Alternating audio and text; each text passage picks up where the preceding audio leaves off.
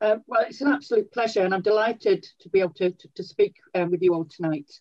Um, uh, and thank you, Stefano, for reminding me how long my career is and how old I am. Sorry about that. no. no, I've had a wonderful career, and um, yes, um, my career has been split into three areas. So, as Stefano said, uh, my first main career was a, a full service career with the Royal Air Force um, working across the whole of Northwest Europe, um, the UK, and uh, America. Um, and then um, I had a short career working um, with our family business when my parents came, became quite ill. Uh, uh, and then um, during that time, I actually took my master's degree at Teesside. Uh, and that's how I actually ended up uh, working at Teesside University. And I started there in 2000. Uh, but I've maintained my contact with industry. Um, so I'm very lucky. On one side of my heart, it says industry. On the other side of my heart, it says academia. Um, and I've had extensive uh, experience both working with the most wonderful people and the most wonderful organisations, um, some better than others. But uh, as part of the development pro- processes, which is what I do, um, and I think that's a really important role of universities in terms of working with industry is to break the cultural barriers between university and working, especially with small companies, because um, they kind of see us a peer, and actually, in reality, we're on the same level. We want to achieve, achieve the same things, and that's you know creating better working environments both for us uh, and for industry and part of my talk tonight is, is to share with some fantastic research that I've been doing with, um, you read to the next slide, Stefano, uh, is, is, is working in, uh, in partnership and in collaboration with um, uh, Leeds, Northumbria, uh, Sheffield, York St John, um, and University of Bradford. Um, and, and, all of these universities are in the north of England because that's what we're developing. We're developing a northern partnership of, of universities. Um, and it's a new partnership. Um, uh, so um, uh, it, it, it, we're, we're, it's growing. Um, and as we speak, I'm organising a writing retreat for us all to go away and, and actually move that partnership into a, a strategic partnership where we can provide even better uh, sharing practices and act as what I, I'm passionate about universities as, uh, um, operating as an anchored institute and we anchor to our local communities and, and share uh, and develop knowledge. And it's a win-win. We learn from industry and industry learn from us. And I think that's really, really important. So I'm going to be talking to you tonight about um, uh, remote working um, principles that have emerged out of doing some research with um, SMEs. And uh, this research started in March 2020 and it's still ongoing. And uh, we're working with 30 companies at the moment, but this will expand because it, it's live research and we go back to these companies every three months because it, it's this because hybrid working now is, I think it's just going to develop more and more. So we need to be talking to our organisations and keep in contact with them to see how, how they are growing with it or not. And that's just as important. Um, so we've done observational and qualitative um, data collection. So um, observational, uh, we actually go into the companies, talk to them, see how they're working with um, uh, digital uh, technology or other types of technology that, that um, assists them. And through these conversations and through this observational and qualitative research, what started to emerge was um, a set of uh, remote working principles. Um, and we've identified, so far we've identified six. We're probably going to identify another three, but I won't talk about those tonight. I might do those maybe as, uh, uh as an updated talk next year, Stefano, when we've got them in, in concrete. Uh, but the data we have got, and I think this is really important, especially when you're working with practitioners, is that we're sense checking for um, validity, uh, pragmatic sense, for practitioner sense. Uh, because when you're dealing with industry, they will look at academia and think, well, yeah, sorry, mate, but you're not talking my language. I have no clue what you're talking about. So it, it's going back to the say, do you understand what we are talking about? If you don't, we need to understand your language so we can use that to pass it on to, to other organizations. Um, yeah, and so that's ongoing, and uh, we're continuing to uh, data collect and also um, sense check, which is really important with the with our policymakers, if you like, in terms of our trade unions, our local councils, our local educational partners. Yeah, okay, so the rationale for the research. Why is it important? Why is it relevant? Um, and uh, we know that many employees and businesses extol the benefits of working from home, but, but that brings unintended consequences. So uh, enforced home working has impacted hugely on social, social relations at work. Meetings have become more instrument, uh, in, instrumental um, and, and interactions more fleeting because meetings on, on the digital uh, platforms seem to take longer. Whereas we can pass a person in the, in a corridor and have a co corridor conversation, which takes two minutes. That then turns into a 40 minute meeting on the digital platform, and more people want to get involved. So it's kind of like it's, I always, I think of it as a piece of popcorn. It just like it explodes into something that becomes quite unmanageable. Yeah, and then we've got changing work patterns that have blurred the boundaries between the workplace and home. Certainly, I've noticed that. and with blended forms of work, we become more task orientated uh, and transactions. Oh, God, I must get this done, or I need to get that done by such and such a time, or I need to meet that objective.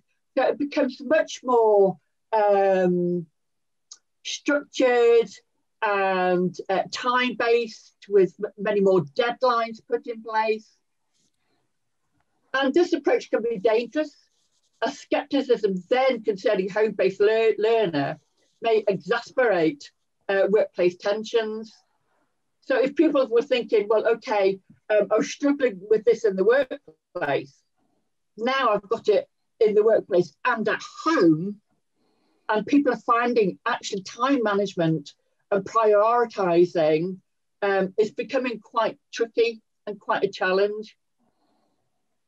And what we've discovered is that, yes, we policymakers are saying all sorts of stuff about, well, hybrid working is fantastic, it works for everybody, it's the way forward.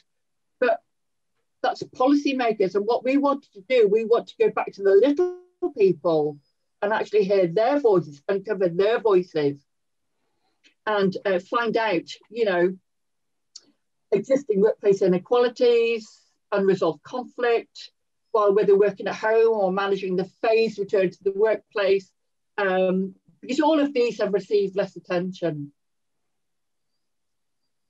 Thanks, Stefano. So, the Centre of uh, Small to Medium Enterprise Development and the Institute for Research and Organisations, um, based at the University of Central Lancashire, um, they worked with regional, regional partners across the northern regions. So that's the partnership that I showed you at the beginning with Sheffield, Teesside, Northumbria, etc.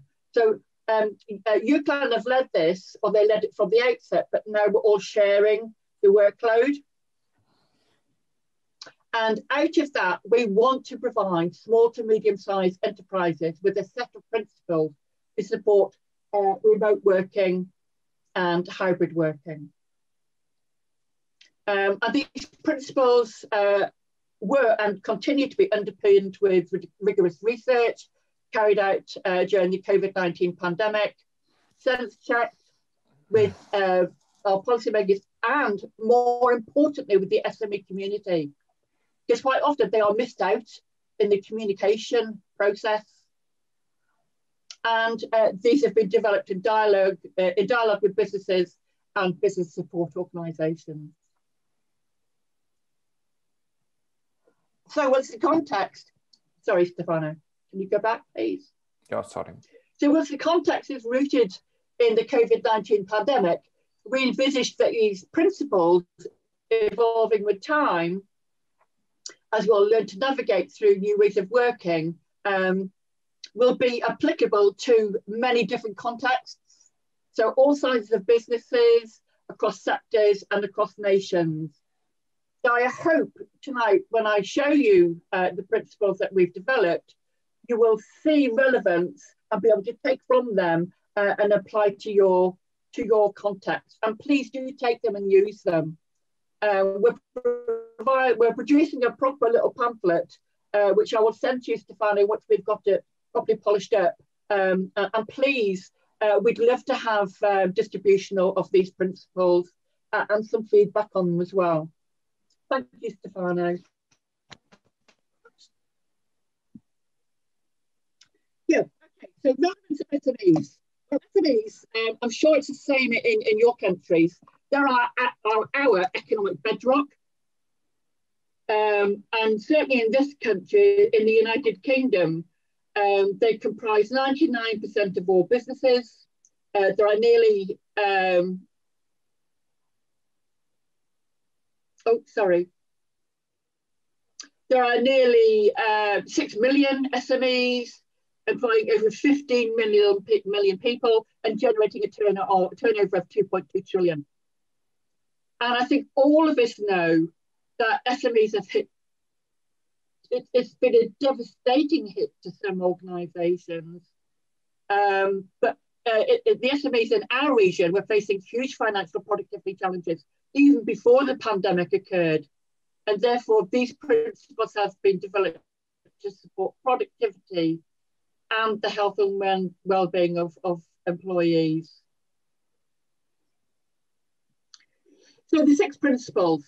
So they aim um, or the aim of them is to support businesses in managing remote and hybrid working um, and focus on flexibility, skills development and training. Uh, we're looking at the employee voice, involving them in the process. It's from their voices that we've actually developed these principles. Um, and looking at social relationships, digital presenteeism, and physical and mental uh, health and well-being. So they're the, the underlying philosophies out of which these six principles have uh, emerged. Okay, so whilst these are individual principles, they do overlap and interact with each other.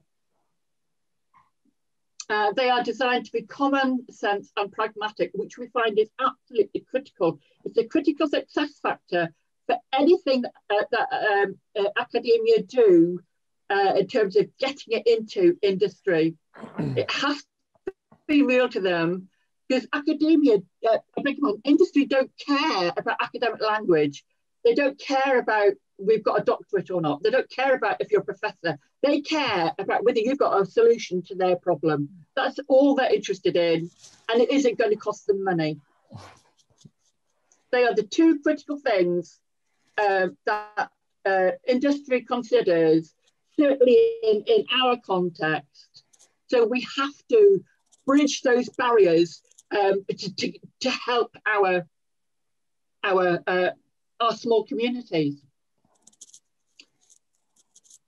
But what we have found is that businesses who are embracing these six principles are already starting to report higher levels of um, uh, uh, employee satisfaction and also they are starting to be able to recover their business.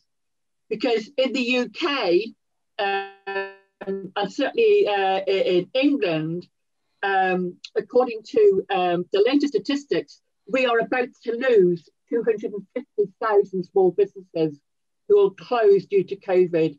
Uh, and I think that's a devastating figure. Thanks, Stefani. Right, so what are the six remote working principles? So we've got flexibility, we've got skills development and training, we've got employee, employee voice, we've got social relationships, we've got digital presenteeism, and we've got physical and mental health and well-being.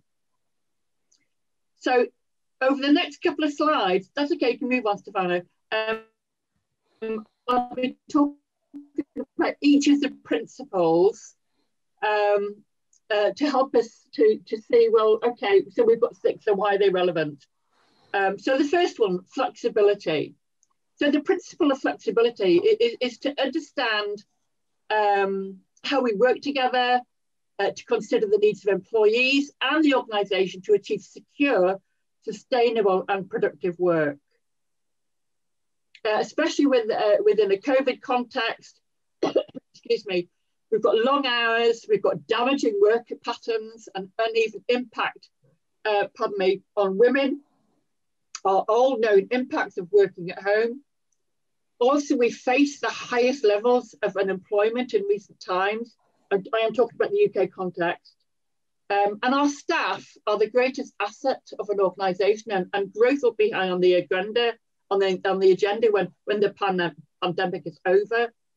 And we've been quite relieved to find, also as part of our research, that now we have quite a few of our organisations who are about to start recruiting again, and also to bring back their staff, which is a great relief because notwithstanding we're going to lose 250,000 organisations, uh, most of our organisations, um, we've got more who have survived than who are going to close, which is really encouraging. And that's down to them and their innovation.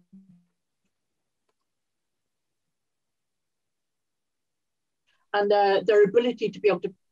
So, uh, in terms of practical uh, solutions, yeah, talk to your your people about the impact of um, the boundaries about being contactable and non-contactable, because you'll, you'll find as, as we talk through these principles, the working day is becoming longer and the boundaries between the working day and the non-working day are blurring. Because it's very difficult to people for people to be offline and they forget that it's okay to be offline while you are still at work. But then people, uh, certainly I've noticed myself, I mean, I know we're all very con work conscious and, you know, we are not nine to five people, uh, but even my hours now have become longer because everything is taking longer to do because of the digital requirement of, of, of that working place. So, and if you're looking at returning to the workplace, you know, put individual needs at the heart of that return, talk to employees about their needs and the situation of the business. So it's not just about having business meetings, but remember people are human beings and talk to them as and engage them as human beings when you're discussing and, and consulting with them on, on, on a workplace, uh, on a digital platform. Yeah, and, and especially don't assume the needs of employees and employers are the same or static. They are ongoing and change. Um, uh, so, for example, um, I've got two people in a company who I'm working with who are profoundly deaf, and they actually find working on a digital platform quite difficult because they have to have three interpreters with them. So it's it's kind of like dealing with those sort of, oh my goodness, well you don't realise uh, the needs of you know um, uh, uh, invisible disability that you cannot see on a screen. And plan for also, it's not just about plan for changes with your employees and your employers, it's the changing demands of customers and key stakeholders. You know, so yes, it's, it's upholding flexible patterns, okay, but there's a double impact of um, customers being more demanding, the workplace being more demanding, and that encroaching on our home life and our work family balance. Yeah, so for example, um, we have stopped them doing emails at weekends. I was just having to tell them to stop. They wouldn't normally do it because that's their time with their families. And secondly, clients will get used to people replying on Saturdays and Sundays. Then it'll turn into a norm and an expectation that they will have in future. So it's all about make, managing and making sure that the staff get downtime, but managing client expectations, We are managing tensions between being a good employer and meeting business needs. So then we have skills development and training. And the underlying principle here is that we need to support skills development and training. Uh, we need to ensure employees can meet the changing needs of the business while focusing on development and progress of the whole workforce. And the context. So in order to make productivity challenges and skills gaps, it's important that employees are development, uh, developed to meet these new, these new, new demands. And certainly from my own experience, even working with students, and my, my colleagues will all tell you, um, before this year, I was a complete IT dummy. And if anybody said to me, oh, you need to record a lecture, I'd run screaming from the room. But now, because um, actually largely through workplace learning and learning on the job and learning from my colleagues, I'm much more confident on, on a digital platform. And actually, I really like recording my, my stuff. Uh, it's for business or for um, the students. So at the moment, I'm developing a mentoring for a small business, and I also develop stuff for my students. And both of those I'm doing by recorded sessions. It means they can dip into them when they want to, or they can go back to them to. Well, you know, if they didn't, because sometimes I, I, talk quite quickly, uh, and I'm quite aware of that sometimes. Um, uh, so uh, if if I if I'm talking quite quickly and, and the student can't quite hear, then they can go back and check their understanding. Or the employers can do they can break my session down into bite-sized pieces. So it's really really helpful. So you know reassess the needs of the business. You will have people who are skilled at digital stuff. You will have, will have people who are not skilled, and quite frankly, you will have people who are literally terrified of it and they will have resistance to that sort of change. So that also has to be, be dealt with as well. Okay, so yeah, keep a focus on development and progress for all employees in the organisation uh, and ensure new employees have a clear development and learning plan um, and commit to supporting skills development don't just say to you know your your um, employees or whoever you're looking after, your your end user client, end user client, if you like. Uh, okay, well, uh, here's a training manual. Get on with it. Yeah. Make sure because as part of leadership management, you know, it's part of monitoring, evaluating, and controlling, and and inputting, and, and make sure we're there for people to talk to us and come to us and say, oh, well, I really like this, but I've got a problem and then and then you you, you can talk together and hopefully come up with a solution to, to that problem between you. Yeah. Okay. Yes, employee employee voice. That this to me is probably, um, in my view, one of the most important. So the underlying principle here is um, understanding the employee voice, but you have to facilitate it. You have to allow it to be heard. Allow people to talk to you and facilitate that. So embed communication, uh, communication strategies where worries and tensions and conflict um, can improve to, uh, uh can, can exist to improve workplace relationships. Conflict is, is a good thing. It shouldn't be dampened down and uh, allow people to express their tensions, um, to get things off their chest. Because if they don't, then they will harbour these tensions and they can become quite ill feelings. And then you have a dark stuff being fed into your grapevine, you know, the hidden communication that goes on. And also get people being stressed, they feel they're not being listened to, they don't feel part of the organisation and then they start to be uh, feel quite alienated. And that's exactly what you don't want in this type of new environment. Because people uh, especially on a digital platform can already start to feel quite lonely yep okay uh, uh give employees um, uh, uh, their voice in terms of their experiences of remote and hybrid working certainly my colleagues we talk to each other quite frequently and um, several people come up with great ideas or suggestions, or they've come across problems. Same as when I'm working with the companies, they'll say, well, yeah, yeah, we want to talk to everybody at the same time, but that's quite problematic. So think about who you need to talk to at a particular time.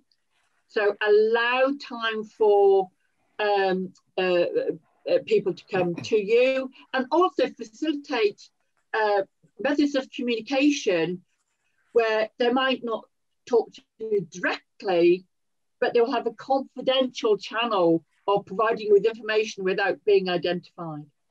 Yeah, okay. Yes, so create worker forums to openly discuss the challenges of the business and the tensions of employees, especially um, with remote working and, and new hybrid um, types of working. We are human beings, we're naturally gregarious creatures. We like being with other people. And, and it's really important that, that, that people are, are put together in some shape or form, which is why Teams is great, Zoom is great, but make sure that um, people are engaging, they feel confident to engage. Uh, I mean, my colleagues will know that I'm not afraid to talk, in, uh, to talk to anybody, and I usually have quite a lot to say. But when I start, first started on a digital platform, I was actually quite quiet for a long time. Um, so just remember, you know, it, it might take people um, time to embed or get used to these types of, of communication uh, methods. Thanks, Stefano. Yes, social relationships. Uh, again, this, this is a, a, another um, key area. Um, I've just said we're gregarious creatures. So, and working on a digital platform or via a digital platform, it, it can be, it can be quite lonely. And I personally, I found this quite difficult when we were first enforced to work from home, um, because I work with a fantastic group of people we were always passing each other on the corridor. We would stop at the photocopier, have a chat. We'd stop in the kitchen to have a chat. You know, and that actually is where a lot of problems are solved through these informal conversation, uh, uh, uh, corridor conversations. Of course, these aren't happening now because of the digital platform. So we need to be creative to enhance this informal dialogue across organisations in an inclusive way and enhance trust and commitment. Uh, I mean, I think one of the, the, the things that, or a hazard of um, remote working is a lot of meetings are recorded and that can also make some people quite uncomfortable and not come forward with what they actually want to say. So that can dampen openness, if you like. Yes, so the context. We know that isolation and loneliness are serious impacts of the pandemic, especially for small to medium enterprises. And we also know that social relationships and connectedness at work are, are extremely important. So some solutions offer ways and time for employees to connect to each other, encourage employee-led conversations,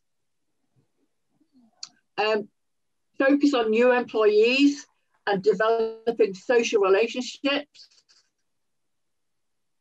Yep, uh, ensure remote and on-site workers are interacting with each other and engage, uh, or, uh, encourage time out so workers can engage in social relationships outside. Our school is very good at doing this.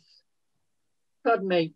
We've got um, loads of team sites, but we've got one in particular, which is um, Tubs or Tubes. We've changed our name now. We are Teesside University International Business School, which is very exciting.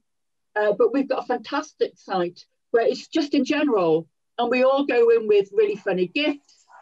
Um, uh, what, the shoes I bought last week with jokes, or you know, um, I'm baking a cake what flavour should I make it? So it's all informal, great fun stuff.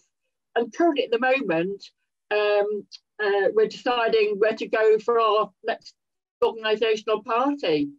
So that's a good sign, you know, where we're getting back together. And it's really important, especially for us, because we've got so many new staff. Yes, okay. So yeah, it's about being creative to enhance the informal dialogue across the organisation. But actually, it's more than that. You know, um, we've always had informal dialogue, and it's ensuring that that continues and facilitating that in a way that um, you know people don't think they're being watched or listened to or recorded. So we need to avoid the big brother factor with informal dialogue, which is a hazard of working or communicating on, on a digital platform. Thank you, Stefano. Yeah, so an example. Um, I was there nearly every day in January and February. What made me realize as well, during this time, it wasn't just about the physical location, it was about the connection with the people. And now I will probably go once a week for the social side. So it's about dipping in and out of the facilities that we've got. So we have we have a site that's available all the time for our informal dialogue. And I'm encouraging, uh, there's a few organizations that I'm working with, and encouraging them to do the same. But it means that that's, that, that, that space is there, but they don't have to be in that space all the time.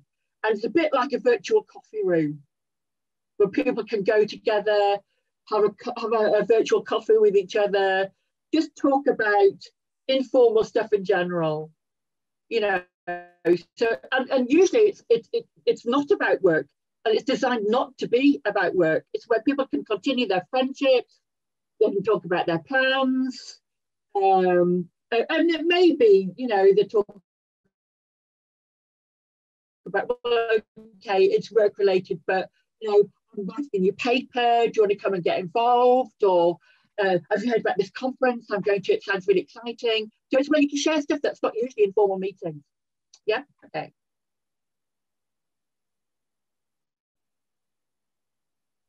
So yes, the crux of the matter, digital presenteeism. So be aware of digital presenteeism and work intensification. This is the critical hazard of hybrid and remote working. So the underlying philosophy here is we need to, uh, uh, about guiding our principle, is we need to set clear guidance demonstrating around what being at work means and set boundaries around the work-life balance. So communication technologies can intensify the work of employees. Presenteeism impacts productivity and damages the well-being of the workforce because they feel a need to be constantly online. And we should not assume that being at work is always the best thing for employees and businesses. So talk to employees about the impact of their work hours. Are they getting work creep? Is their work creeping into their normal home life hours? And consider the different uh, impacts of, uh, on your different types of employees. I mean, women, um, as much as you know, we like to think that it's an equal world and it's the 21st century, but women still bear the brunt of looking after dependents and being responsible for the house. And ensure fair and equitable workloads and responsibilities across teams. And ask yourself and your teams if working less can achieve more. Because people, the longer people are on um, or at their workplace, it's likely they'll get tired, they'll start to go into burnout. It's almost like um, they work a week's worth in a day. And so the next day and the next day, they become less effective at their work because they've burnt up the time that they should be reserving for the next days. Yes, Okay, and so um, setting clear guidance demonstrating that being at work can be not online. Uh, encourage conversations about managing customer demands in a timely manner.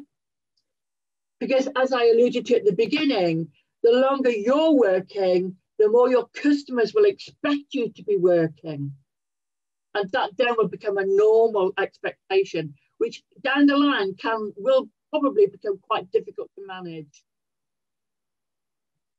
Yeah, encourage time away um, from a, a, a, desk, evening work hours. And this is especially uh, important for physical health.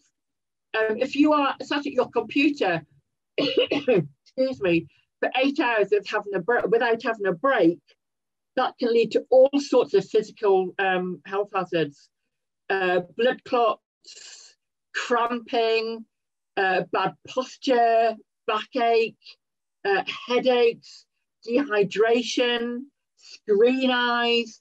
So there's all sorts of things that we as managers and leaders really need to ensure uh, that we include those in terms of looking after our people working in, in hybrid environments.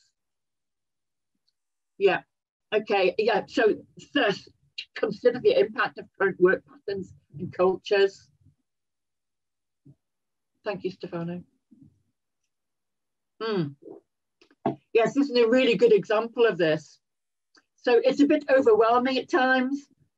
For me, you know, Zoom, emails, social media, and it got a bit too much because you were seeing everything rather than uh, a one uh, uh, uh, uh, rather than a one-to-one conversation and then going into a meeting.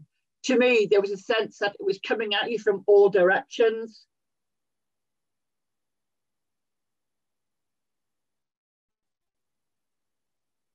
Okay yeah so and all of that kind of is wrapped up in in physical and mental health and well-being so you and your employees are your greatest asset.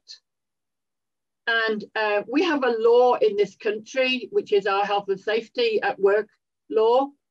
And in actual fact, we are legally obliged as employers and also as employees to take care of ourselves. So we are our own risk and we have to risk manage ourselves in terms of health and safety in the workplace. So it's important that we, we support our, our employees and, and be open and, uh, and ensure that they know that, that if they're starting to have problems, that uh, you will listen to what they have to say. Remember about the little voices.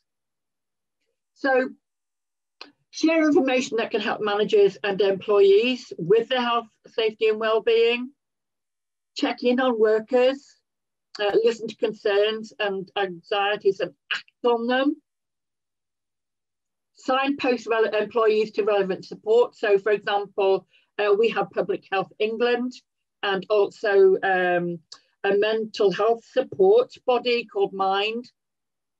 And start with basic policies around sickness and absence and performance management, etc. Um, certainly when I started working on a, a digital platform, oh God, it was taking me forever to do something before that I could have done in 10 minutes. And that really affected my my confidence. And I'm I'm quite a confident person. I thought, oh my God, uh, this is really getting in the way of me performing in the workplace. So I, I was mindful of that. Um, and I did have discussions at the time. Uh, so look, I'm really concerned about my lack of knowledge and, and ability and capability of working on these these platforms. And it, it, it's just through um, colleagues and, and support from other people, you know, that gave me the confidence to, to develop um, my skills in, in this area. Yeah, and encourage um, uh, uh, existing policies widely, but, but go back to them, revisit them. Are they still fit for purpose in a remote working environment? So your sickness policy, does it include, you know, um, I've got screen eyes from from from working on a digital digital screen, or um, I really need a break. Can I just do, you know, um, uh, with hybrid working, please, can I be online but offline? And they shouldn't have to ask to be able to do that. That should be in your policy. Yeah. Okay. And also, what I find is also really important is is avoid having back-to-back online meetings because it doesn't facilitate people taking a proper break. They feel obliged that they have to go to everything, even though they might not have to go to everything. They may well feel obliged that they do have to. So make that clear as well. And encourage workers to type, take time out of work. So um, with me, um, because I'm terrible, I, I, I, I, working in the world of computers, I'm sure you you feel the same. Five minutes working on a computer, usually in effect, is about five hours. So it's almost like you, you're operating in a different time zone when you're working on, on a computer and you lose track of time. So I put an alarm on, I put my phone on for every hour to remind me that I've worked at the screen for an hour and that I need to get up and have a walk around. So it's a, it's not about, you know, yes, of course your employees are at work, but manage it so that you're making their work safer and healthier for them to be operating in. That way, you won't have them going into burnout. You will do your best to be mindful of, of health and safety and welfare. You know, welfare often is the hidden aspect of health and safety. You know, it's mind and body that we need to take care of. Okay, thank you. Yeah, okay, so I know it's going to be pretty hard. I know that. I know potentially my anxiety and my depression are going to threaten, but I know how to handle them. When responding to working away from family, the knock on from that is that I feel lonely and vulnerable and isolated as well. Because if anything happens to me, nobody can come to my rescue. It is quite, and from another uh, of our participants, it's quite easy to work seven days a week. but the mental health of my staff is very important to me and probably as important as their physical well-being. So that kind of supports my my statement about you know it's not just about um, uh, uh, the physical body it's also the mental state and well-being of people as well as you know the physicality.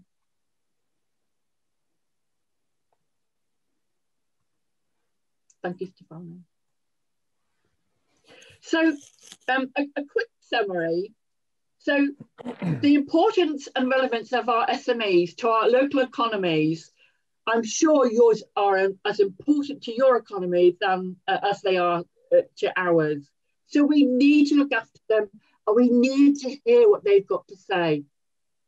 So we need to facilitate and uncover hidden voices, to understand and come up with pragmatic solutions, to enable them to work in hybrid and remote working environments comfortably with confident and increasing levels of confidence and relatively safely. And also, um, the added value of that is it helps us to develop our relationships with industry and it helps to bridge the academic and practitioner divide. So next slide, please, Stefano. So, so hopefully um, you will have found um, uh, our research and our set of principles insightful and uh, you can take something away from the principles to, to help you with your own practice, your own organizations. And if you're working with other uh, uh, organizations, please do feel free to take these out and, and disseminate them. It would be our absolute pleasure for you to do that. Thank you. Thank, Thank you, Catherine. Um, I think that I stop sharing, just look at uh, what are the kind of uh, questions that came through. Uh, yes, there are um, any questions? application yes. Of, of, yes. Is it okay if I go if I go through the, the comments? Yes. Yeah. Yeah. Okay. so, so the first one I can see is uh, the application of these principles to SMEs um, in this region could, yes, of course, please do. We'd be absolutely delighted. Uh, take them and um, uh, if your students, with their permission, um, certainly let us know what their findings are. Um, and uh, if necessary, and if relevant, we, will add their findings to ours and credit them for, for, for doing so. Um, a cultural study could also be done. Yes, be delighted. Um, if you want to email me afterwards, if you want to pick that up. Um, uh, we are looking at um, uh, scoping this up to be a bigger project. So anybody who would like to get involved and get involved with um, perhaps bid writing, uh, yes, please. um, Catherine, so there is a question from yes. Yongsheng actually, in terms of digital presence, so the presenter is Menzona. how could we make sure that someone is at work or just log in and run away. So basically the idea is that, well, Yongsheng is actually asking a question like kind of, um, and also he's suggesting that you present this to the leader of your business school. Actually, thanks God, it's not my business school. so I, I don't know. You you can oh, try. Oh my, do you know what? It's like being with children. They always let you down, don't they? They really do. My yeah. lovely colleagues. So Yongsheng yes. is suggesting yes, that, but yeah no but a good question is actually yes in, indeed um, the the presenteeism actually uh, we, we are talking here like the, the reference you I, I, have a few questions actually it's kind of i was thinking like i want to ask you a couple of things.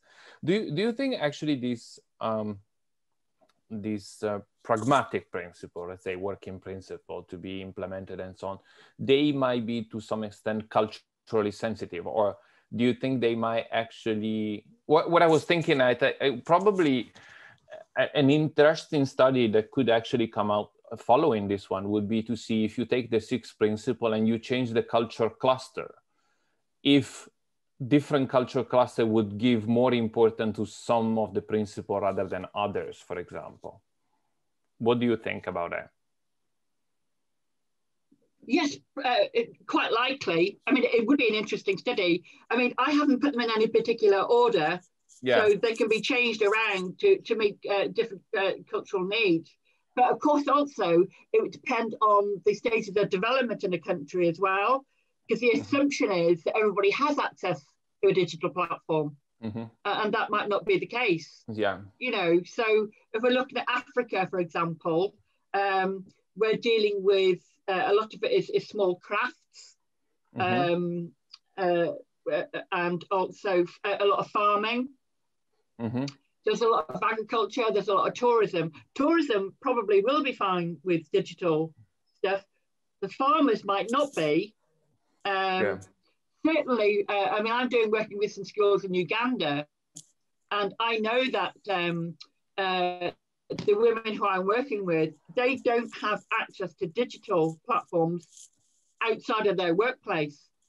Mm-hmm. So the only time they've got access to digital stuff is, but and that's probably actually quite healthy because it means then they don't have a sense of commitment to mm-hmm. stay on their yeah. blooming computers all day because they don't access them.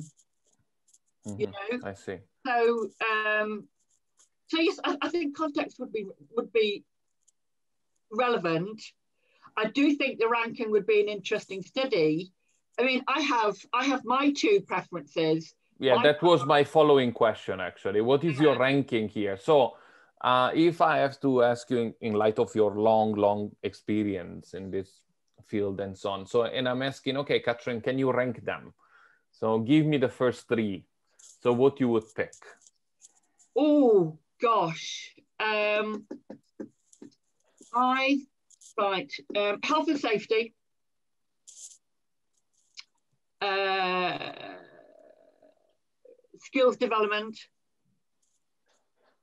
and oh gosh um, um, oh mm, I'd, I'd, be hard pressed to prioritize one out the the remaining four but definitely skills development, health and safety, and I think social relationships actually, yeah. social relationships, me because I'm a I'm a, a social bunny, um, yeah. then skills, and then and then health and safety. Pro- yes, probably. They, would be my this, top three. You would you you would basically take these three as the kind yeah. of leading the core per- one, and then from my experience. Yeah, personal. Yeah, yeah. I'm just asking yeah. you based on your like standing experience and so on. Yeah. When I go into organisations, the first thing I notice or the first thing I look for is how people interact with each other. Mm-hmm. Yeah, that's. Um...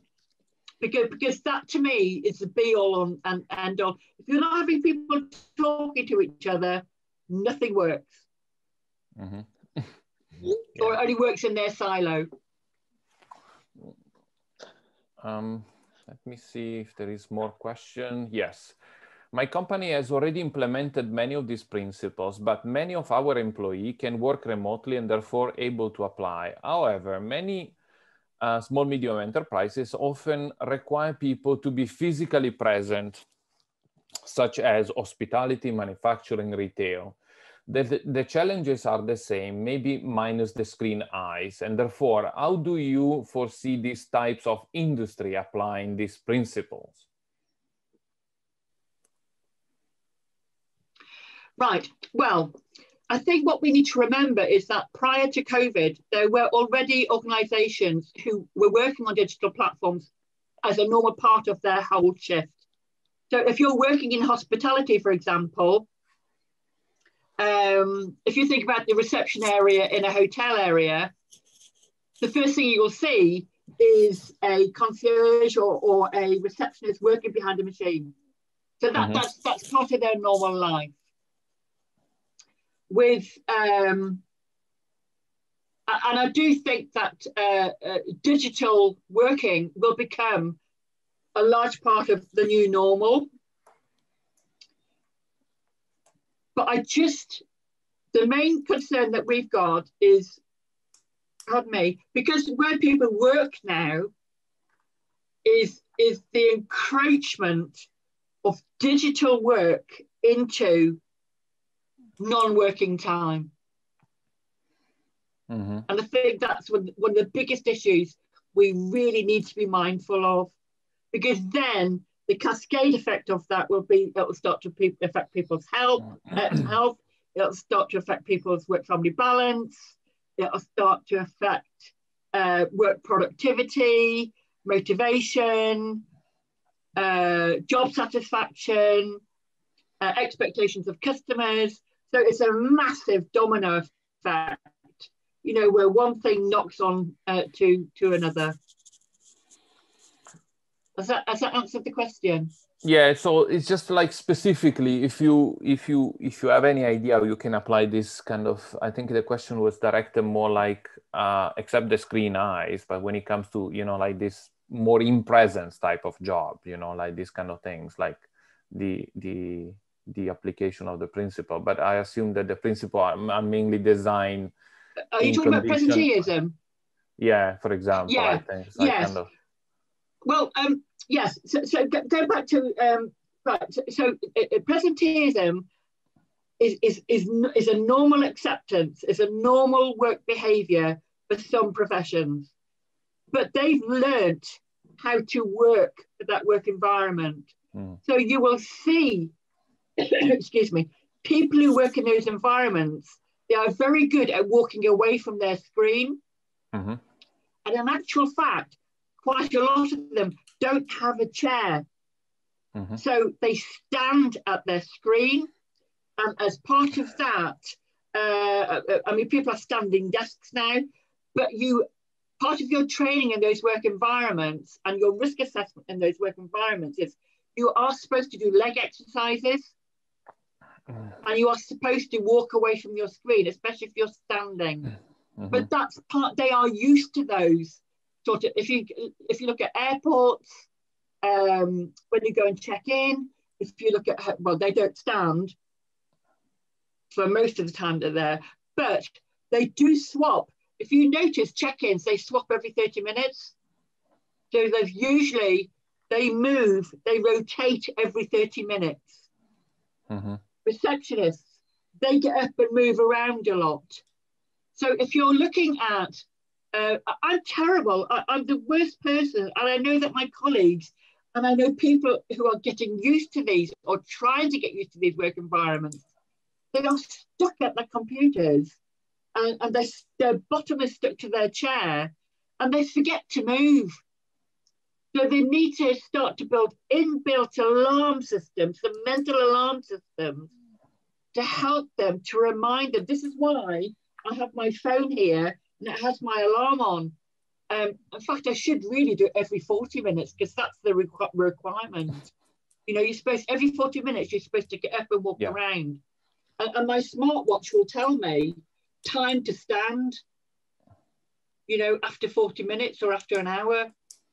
You and know, I do, it, I, I used to ignore it, but then I thought, no, actually, I do need to stand because I was finding at the end of the day, after working eight hours, my legs were, were actually numb. And that, you know, that, that is not a good thing. that cannot be healthy. So, yes, it's being mindful and also talk to your people. Don't make assumptions.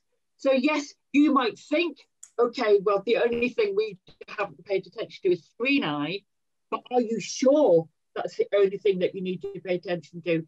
Have you spoken to your people?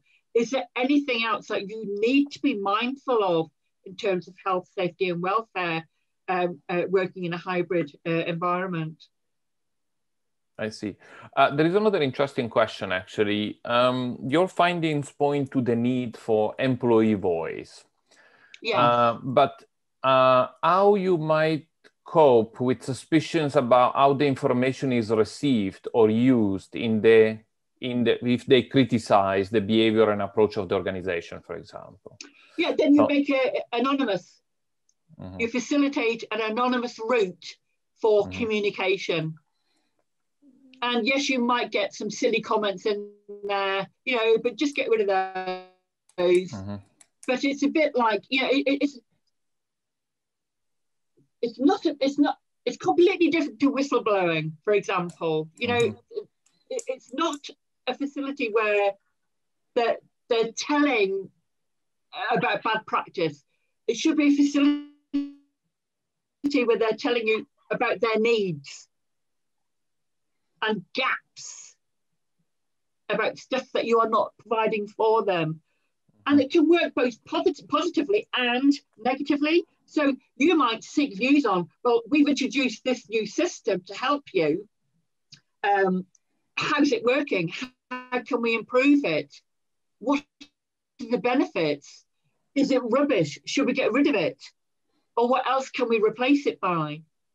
So yes, of course. And also there will be people who are really shy, especially if there's uh, if you've got a large influx of new employees they might not think they've got the right to speak yet because they've not embedded within the organizational culture.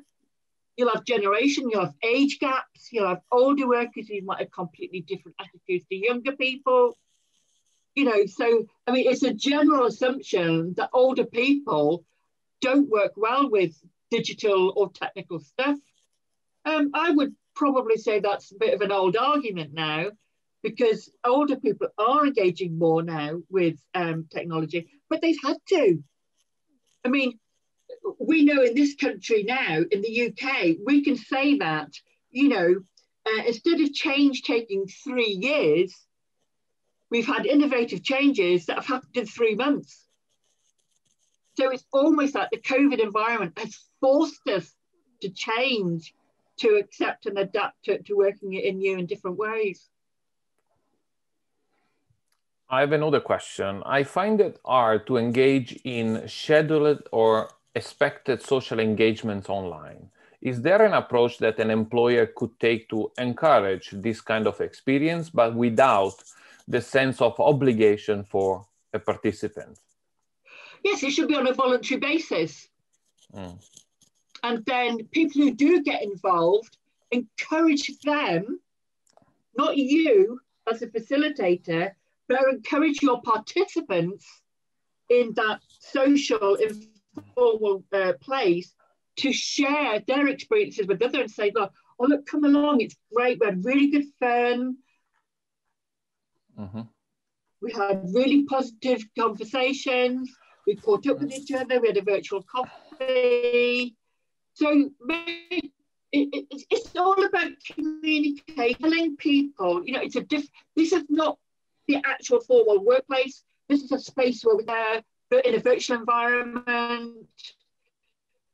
So it's always like we're as close to what we would be doing in the workplace, but not quite, but nearly. And, and talking over each other and, and laughing together and, and, and, you know, having a coffee and dropping your biscuit in your coffee and everybody laughing at you and, and stuff like that, you know. And, and make it short, you know, a maximum of 20 minutes so that it doesn't interrupt too much with the working day. Any other? Does that, does that help? Yeah. Any other comment? And lunch times, you know, if, if you if you if you it depends on what shift work uh, on, on your shift structure. So if you've got a standard working day, what I call a standard working day, which is what eight o'clock till six o'clock at night, and you might work seven and a half hours within that period. so you can make an hour available for people to dip into and out of.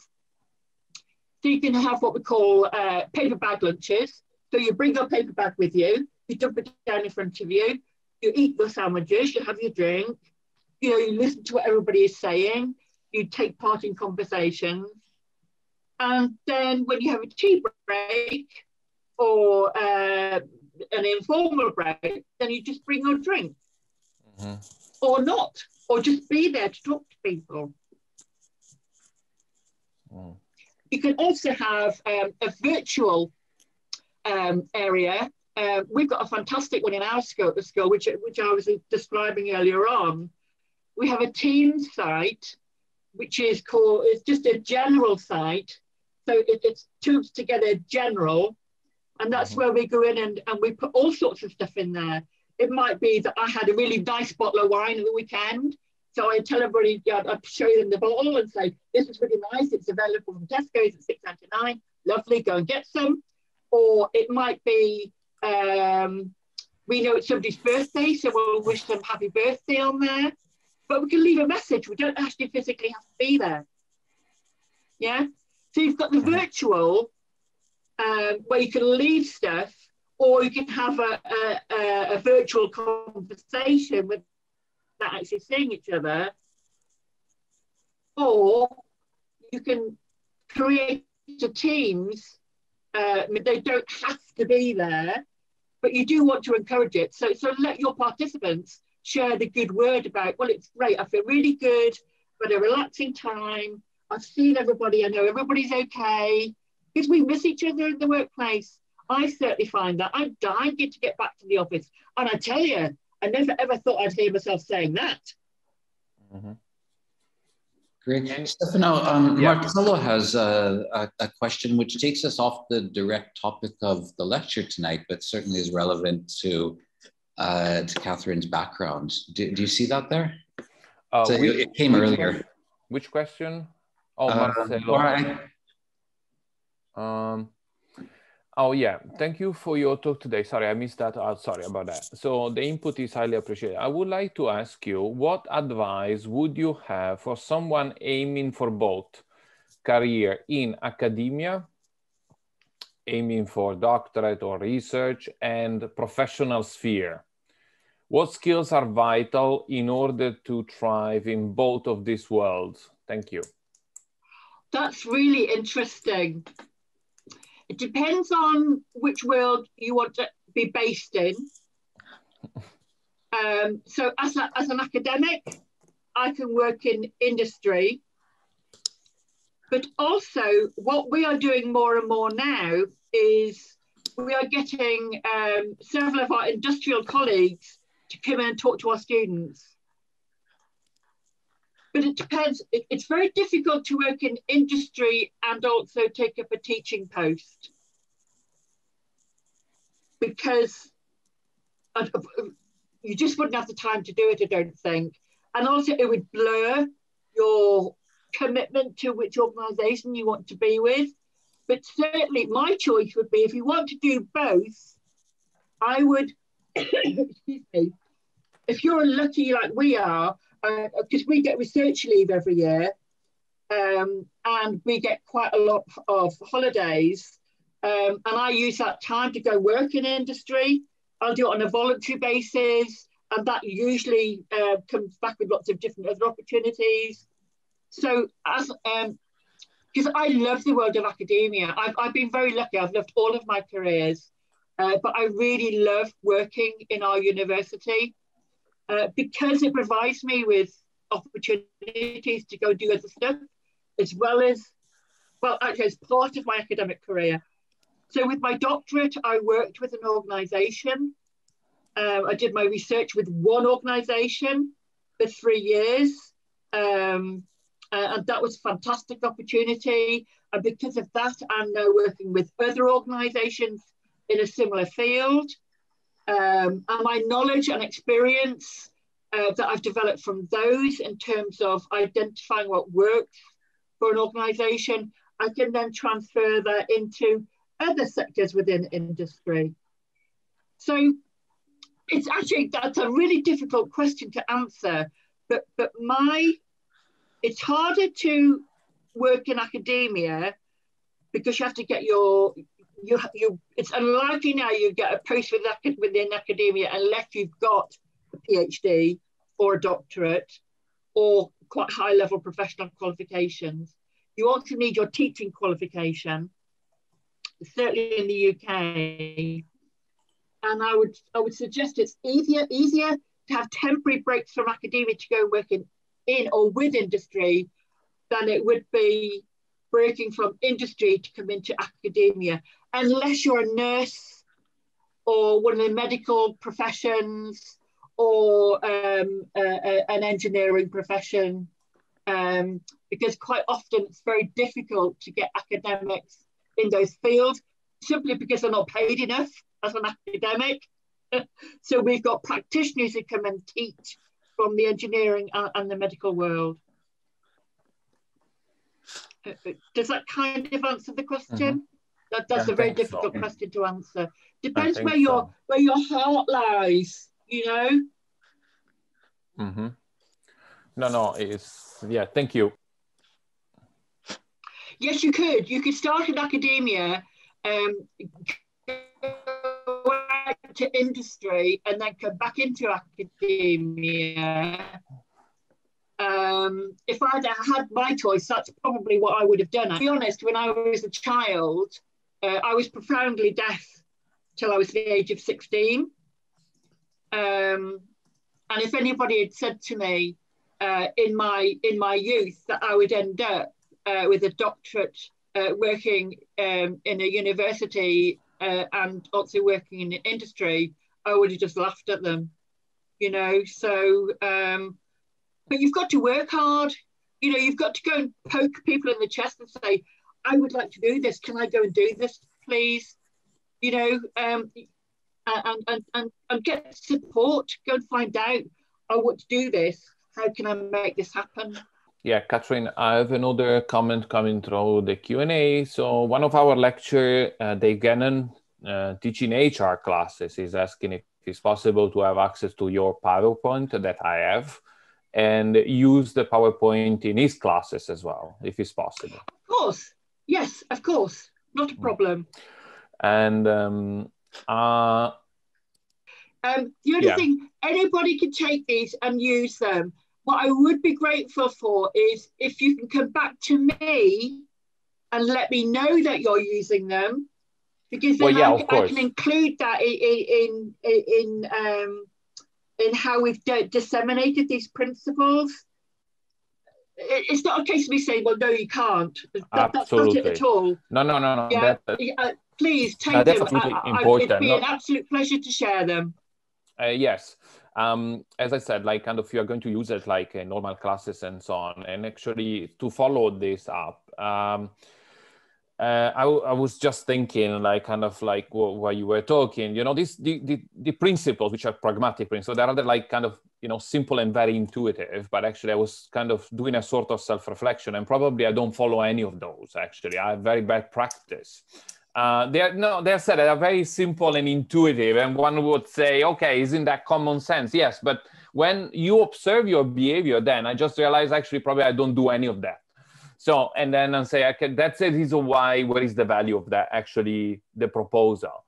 Um, the the idea I would have is that actually because the uh, business school and the college itself, as uh, as you have in Teesside and so on, an industry network, I would like to take this kind of opportunity to ask you if um, maybe we can kind of uh, sit down later on, but actually we can formalize, you know, like a sort of set of questions and running around these principles. Uh, in our industry network and get back to you and the institute in Lancasters as well to get a feedback. Absolutely. Yes. Um, so we we can actually kind of create a sort of let's say uh, a cultural kind of like maybe difference, maybe something different will emerge. Uh, I think actually the, yes. the, the big advantage is that the principles are kind of like pretty simple, clear with the instructions and so on, and it could be really kind of easy to collect and gather this information in organization. Well, you see that, that that's one of the main points. They are pragmatic because yes, it, that's exactly the point of it, right? So by having it pragmatic and simplified in this way, uh, organization from, might like they, them. They emerge from the practice. Yes, absolutely. So yes, of uh, course, please do. I, I, would be delighted to follow up with that um, later on, Stefano. Okay. Um, so probably the, the best thing to do, I, I don't know, the, the other thing I wanted to ask you is a bit more technical, but uh, you, you, you said that you based on observation and uh, qualitative analysis, right? So which method, analytic method did you use for analyzing the qualitative data? So to have a consistency, if we run the same experiment by using those principles, um, yeah. So to have a, a, sort of, you know, like kind of, so we don't do like different methodology and so on. We should have a same, yeah. same, same, method and so on. How, how yeah. did you actually analyze with the team those qualitative data? Thematic analysis. Oh, thematic analysis. Thematic okay. analysis. Thematic analysis. Yeah. Oh, yeah. Okay. So, and then from the team, you proceed to the formulation of the principles from the team emerging. Exactly yeah. That. Ah, okay. So, exactly okay, perfect. Like, like like an inductive study. Okay, perfect. So, um, okay, excellent. Yeah. Excellent. Thank you. Uh, there are any other questions from the audience? I hope people found it useful. I think, as I said, it was very interesting. As I said, the the um, the the kind of as idea, you know, why we're reflecting on this. I said, yeah, they are kind of very intuitive, practical, simple, and so on. Like mostly like related to common sense, but actually I don't do any of that. So it's like kind of, yeah. you know, that, you know, as I said, we, we can follow up on this and see how to implement locally the research on our industry yeah. network and distribute uh, the principles and to kind of have a sort of qualitative kind of feedback and collecting data. So it can actually yeah in some sense promote a cooperation with Lancaster, Teesside, and other universities. You, yeah, you, but, you you're a... right about common sense, you know. But but then how common is sense? Uh, well, you know? no, exactly. So that's a no, that's exactly the point. So at the end of it, one say, oh, well, isn't that common sense? Yes, but then when you think it through, actually, I mean, personally, I don't do any of that. almost zero. Well, I think you've been like, a bit hard on you. Uh, uh, mm, I think you've been a bit hard on yourself. I'm, I'm sure you do do some of it. No, but, I, I, but I, would, I, would, I would agree. Yeah. I would agree. Um, yeah. No, I, I think yeah. I, I, I, do. There is a late post in the Q and A from Juan. Oh. Uh, how will SME develop? Ah, okay, so uh, How will uh, small and medium enterprises develop practice will beneficial to the business environment? Okay, so basically, I think the question is addressed to, uh, so if basically the implementation of this principle, you can think that it can actually benefit the, you know, the development of small, medium enterprises adopting this principle, how that can benefit the business environment? Well, um, we certainly found that there's less sickness, mm-hmm. there's less absence that because people will be absent but not necessarily to notify you that you're sick, that they're sick. Mm-hmm. Um, and actually, that's what that's currently what we're exploring, because remember, this is still live, this research. So um, I would like to think that maybe later on I can come back and give you uh, another talk on how they have actually benefited, because that's that's just what we're exploring at the moment. Mm-hmm. Uh, did you find any kind of let's say correlation with the, the, the performance of the organization yeah but, but people were, were working so long that it was affecting their productivity their output and when um, some of the organizations that they stopped them doing emails at the weekend mm-hmm. and then their productivity uh, increased um, and in actual fact, we but we are we are the worst offenders. Um, our mm-hmm. university tells us we are not supposed to email colleagues at night time, but we yeah. still do. We aren't supposed yeah. to email people at the weekend, but we still do. So actually, we need to learn ourselves about how to behave appropriately. You know, some of us are not very good examples of how to behave appropriately within a, a, a hybrid working environment. But to be honest, I did that before COVID anyway. Mm-hmm. You know, so I think we need to be careful. You know, COVID is not responsible for absolutely everything that is is is causing changes at the moment. Mm-hmm. You know, the digital revolution w- was happening anyway. It's just been greatly sped up because of of COVID. How can we tell if? Uh the performance is negatively or positively impacting the business when it's not obvious. So, so I think the question is how we can actually kind of see that is because of malpractice or not following this principle that actually the performance is not that good for organization. Um, well, it depends. Uh, I mean, have you got performance measures in place? Yeah. Because normally, organizations nor, normally small and medium don't have that. No, so, they don't. No. If you talk to an organization about a performance measure, they will look at you blankly and say, "What? What is a performance measure?" You know, I mean, they don't even know what KPIs are a lot of the time. No, you most know? of the time. So yes, it, it, it, it's a very good point, and it's a point that we try to stress to organizations. You know, you can't measure if you've got no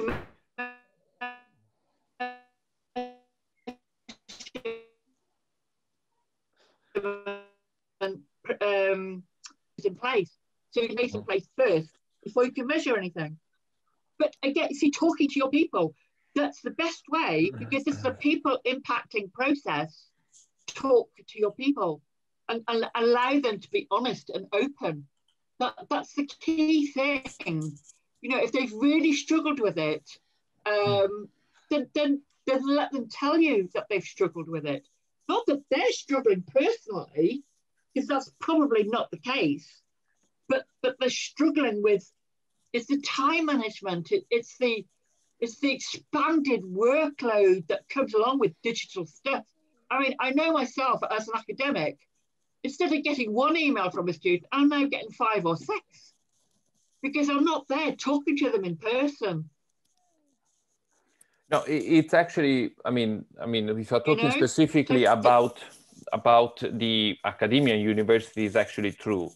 Uh, the engagement with students, and there are many sitting here at the moment, but I can actually kind of witness and kind of see that actually duplicated, quadruplicated the amount of exchange yeah. of emails, obviously, yeah. because of the type of working environment. So, um, and that actually has an impact, of course, like in take you taking you a bit out of the normal working hours because you have to answer to all the emails because of in some sense principle of fairness towards all the students right so and but it's actually very true that the conversation actually is increasing in massively in terms of email exchange uh, I think it goes across all universities everywhere. Yes, and I've got students. Uh, uh, yeah, but but what I'm sad to see is that you know I've got students apologizing to me, saying I'm sorry, I need to ask you another question. So so this is what I mean about communicating. So the first thing I go back and say, please don't be worried about talking to me. You know, phone me on Teams or I don't care how many times you email me. You know, my job is to look after my students. I mean, I don't want them emailing me like 20 times a day or after nine o'clock at night, you know, but they should have, the confidence um, to be able to to come to us when they feel a genuine need to, you know.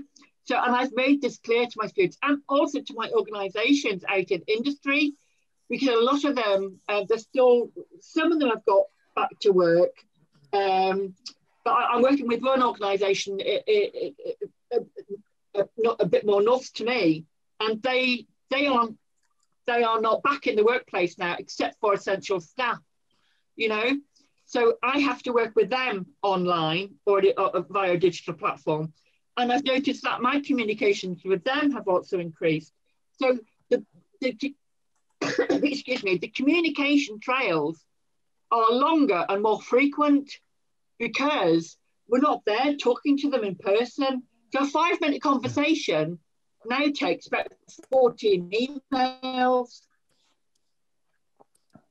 I mean, that, that's just a, you know, just, that's just a, a ballpark figure. But hmm. it does take longer. Uh, actually, uh, I have another interesting question which is coming through. Um, yeah, it's actually it's a very good question from our, one of our finance lecture, uh, Bruce. Uh, Bruce Day. Actually, that is pointing out that there are plenty of initiatives that are driving the areas of uh, ESG uh, into corporate reporting inside in the European Union. So, for example, the GRI framework is generally used for reporting all the non-financial activities of organization. Do you think is it realistic to think about having these principles incorporated in non-financial reporting? Would that be something interesting? I do, but support them with some performance measures. Mm-hmm. So, for example, um, I use um, Etienne Wenger's six factor value creation model, yeah.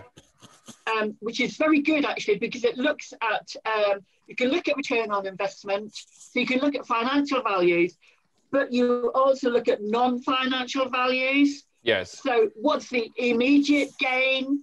Uh, so you've got mm. immediate, short, medium, long term, and reframing values yeah. as part of those six components. Uh, and I'm a, I'm a big fan of them in terms of, uh, I use those as performance measures in organizations, but for something that's not quite as tangible as financial metrics.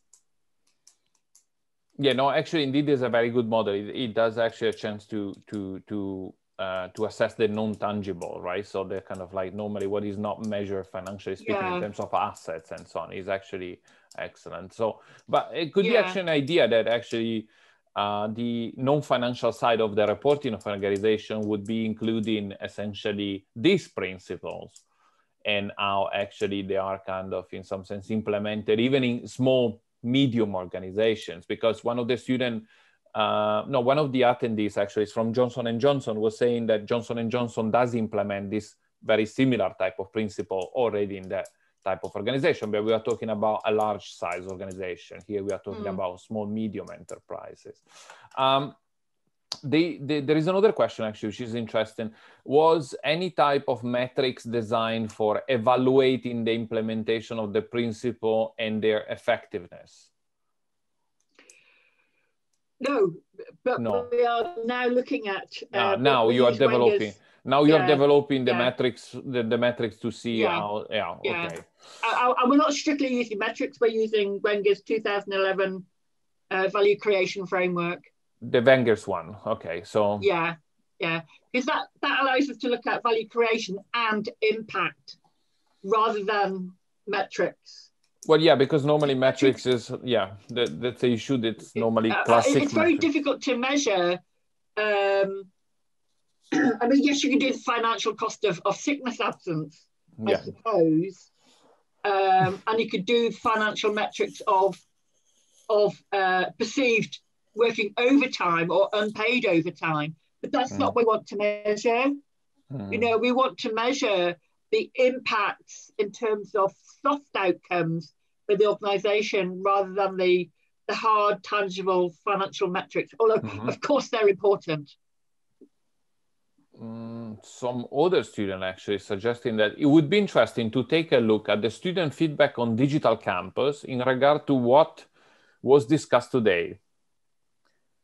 Uh, so to see basically if there is any kind of interesting kind of similarities between the principles and so on, because if we interpret like studying as work in some sense and to see have a yeah.